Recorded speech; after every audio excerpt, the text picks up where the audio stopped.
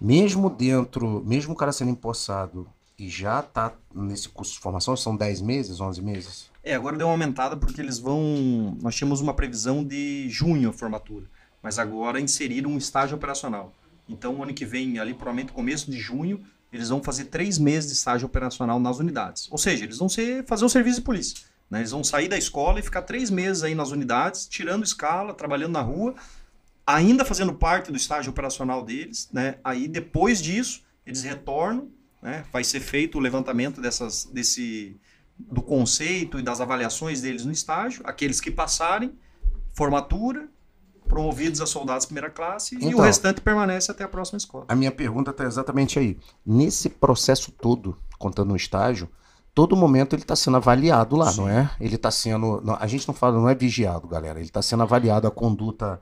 A conduta. Existe a, a palavra pundonor policial militar, a, a conduta de ética, moral não só a conduta dentro do batalhão, né, Tavares? A conduta fora Sim, do batalhão. Isso é importantíssimo. Super importante. E, e nesses períodos de formação, vocês costumam ter muito problema com, com indisciplina? Como é que é o desligamento? Existe os desligamentos?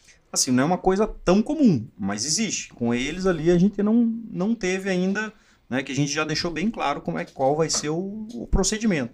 Né? Então, quando, principalmente nos finais de semana, no primeiro final de semana que nós liberamos eles, né? Até para, como foi bem puxado a, a primeira semana, no, na segunda semana que era Dia dos Pais, né? a gente, por, como muita gente é de fora, a gente falou, ó, esse final de semana não vai ter acionamento, né? Então aproveitem com a família de vocês, aproveitem aqueles que são pais e aqueles que têm pais ainda, né? Que passem essa data com as famílias, mas já deixando bem claro, né? É, vocês foram liberados e deem valor para isso. Então vocês estão lá não para ficar ainda embalada e porque eles nem identidade ainda eles não têm nem a provisória. Né? Então não adianta nem eles querer carteirar, embalada, essas coisas assim. Mas, de qualquer forma, a gente deixou o recado bem claro.